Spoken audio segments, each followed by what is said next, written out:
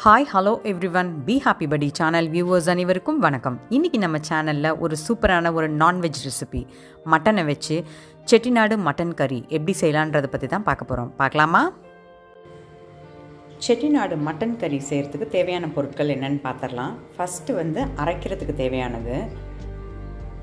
அரை table spoon அளவு மிளகு நல்ல ஒரு ரெண்டு பெரிய துண்டு பட்டை ஒரு நாலு கிராம்பு ஒன்றரை ஸ்பூன் அளவு தனியா இது வந்து மராட்டி மொக்கு அன்னாசிப்பூ அரை ஸ்பூன் அளவு சோம்பு அரை ஸ்பூன் அளவு ஜீரகம்.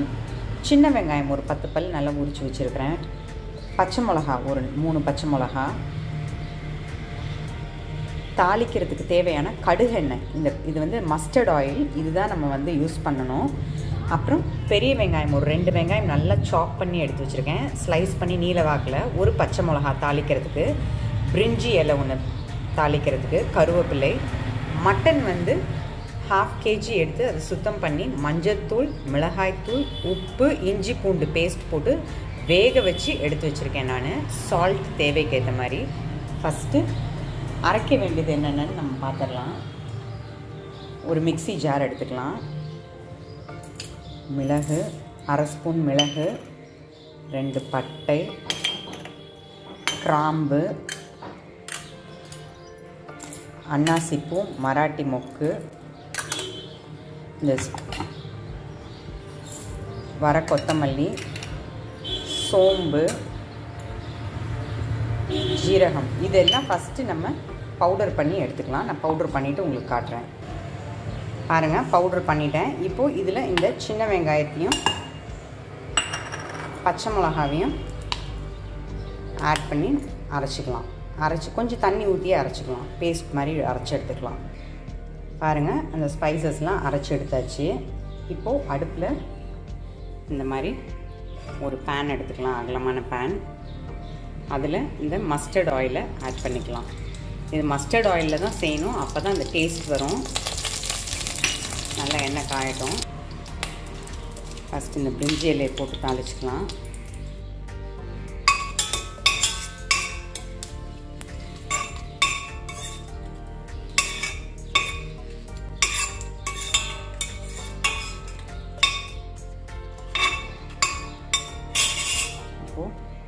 கருவேப்பிலை ஆட் பண்ணிக்கலாம்.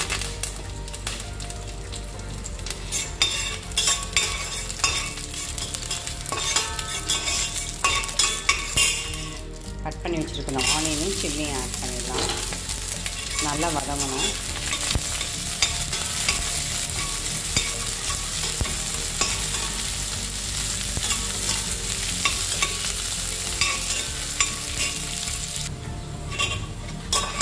பாருங்கள் நல்லா வதங்கிடுச்சு வெங்காயம். இப்போ வேக வச்சு எடுத்து வச்சுருக்கிற அந்த மட்டனை வந்து தண்ணி இல்லாமல் வெறும் மட்டனை மட்டும் ஆட் பண்ணிக்கலாம்.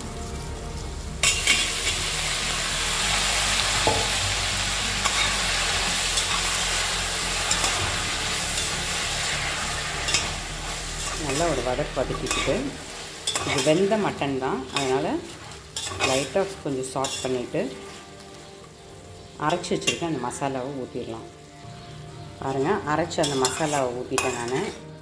இப்போது இதை நல்லா மிக்ஸ் பண்ணிக்கலாம். இதில் வந்து மிளகாத்தூள் போட்டு தான் நான் வேக வச்சு எடுத்து வச்சுருக்கேன். கொஞ்சம் உங்களுக்கு ஸ்பைஸியாக இருக்கணும்னா இப்போ வேணால் லைட்டாக கொஞ்சம் ஒரு அரை ஸ்பூன் அளவு ஒரு கால் ஸ்பூன் அளவு மிளகாத்தூள் ஆட் பண்ணிக்கோங்க. நல்லா ஹையில் வச்சுக்கோங்க. இது நல்லா கொஞ்சம் சுண்டட்டும். சுண்டுனதுக்கு அப்புறமே நம்ம வந்து அந்த மட்டன் வெந்த தண்ணியை ஊற்றிக்கலாம் இதை நல்லா வதக்கிக்கலாம். நம்ம வதக்கும் போதே அந்த ரா ஸ்மெல் போயிடும். அதுக்கப்புறம் நம்ம தண்ணி ஆட் பண்ணோன்னா சீக்கிரமே டிஷ் ரெடி ஆகிடும் அதுக்கு தான். கொஞ்சம் நல்லா வதங்கட்டும். பாருங்கள் மட்டன் நல்லா வதங்கிடுச்சு அந்த கிரேவியோடு நல்லா மிக்ஸ் ஆகிடுச்சு எண்ணெய் லைட்டாக பிரிஞ்சு வர ஆரம்பிச்சிருச்சு. இதுதான் கரெக்டான ஸ்டேஜ் அந்த மட்டன் வேக வச்ச போது எடுத்து வச்ச அந்த தண்ணியை இதில் ஆட் பண்ணிடலாம். இது மிளகாத்தூள் போட்டு வேக வச்சதுனால அந்த கலர் இருக்குது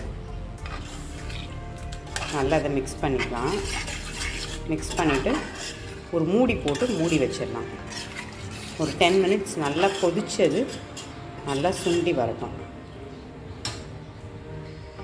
இப்போ இதுக்கு தேவையான அளவு உப்பு ஆட் பண்ணிடுங்க. ஏற்கனவே மட்டன் வந்து நம்ம உப்பு போட்டு தான் வேக வச்சுருக்கோம்.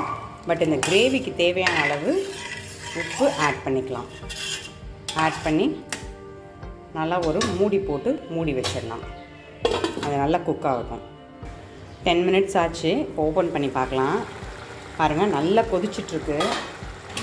கலரே நல்ல ஒரு அட்ராக்டிவ் டிஃப்ரெண்ட்டாக இருக்கும். பாருங்கள் இது வந்து மெயினாக நம்ம அந்த இன்க்ரீடியன்ஸ்லாம் அரைச்சதுனால தான் இந்த கலர் கொடுக்குது.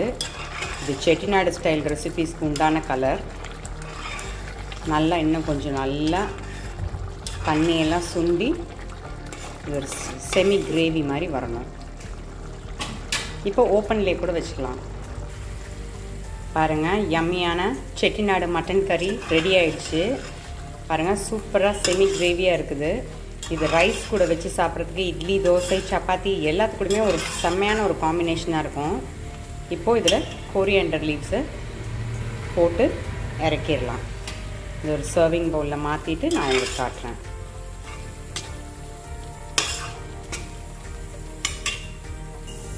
பாருங்கள் சூப்பரான செட்டிநாடு மட்டன் கறி ரெடி ஆயிடுச்சு. இதை நீங்களும் செஞ்சு பாருங்கள் உங்களோட வேல்யூபிள் ஃபீட்பேக்கை எனக்கு தாங்க. தேங்க்யூ தேங்க்ஸ் ஃபார் வாட்சிங்